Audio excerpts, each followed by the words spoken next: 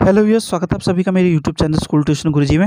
आज हम बात करें कार्यपत्रक चौदह की, जो कि दो सितंबर के लिए जारी किया गया। सात का विज्ञान विषय कार्यपत्रक है बच्चे अपना नाम लिखेंगे और अपने।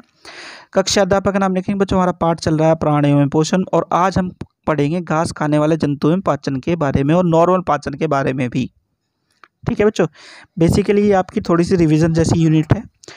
या रिविज़न वाली वर्कशीट है, ज़रा देख लेते हैं इसे। तो जंतुओं में पोषण में क्या सम्मिलित होता है बच्चों? पोषण की आवश्यकताओं को पूर्ण करना, भोजन के अंतर्ग्रहण की विधियों जो हैं, वो आती हैं इसमें, और पाचित भोजन का उपयोग करना।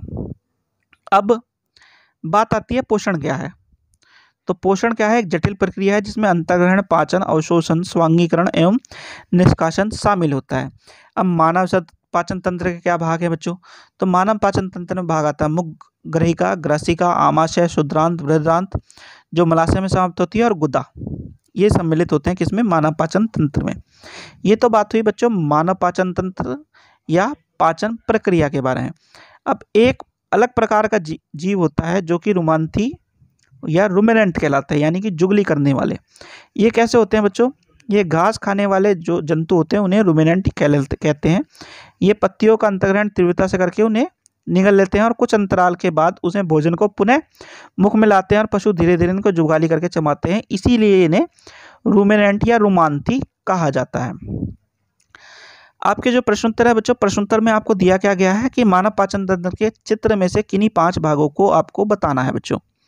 अब बताना कैसे है जरा मैं उदाहरण दे देता हूँ क्योंकि ये वर्कशीट रिवीजन की है बच्चों आपको कि आ, ये आगे आपके शुद्रांत भरांत ठीक है बच्चों? ग्रही का और ये सब मुख इस तरह की चीज़ों का आपको बताना है बच्चों उसमें फिर है, क्वेश्चन नंबर दो, मानव पोषण के प्रमुख चरण। तो मानव पोषण के प्रमुख चरण आपको सीधे यहाँ से मिल जाएँगे। और अगर बात करें मानव पाचन तंत्र के भागों के बारे में तो यहाँ से आपको मिल जाएँगे, आपको लिखने हैं।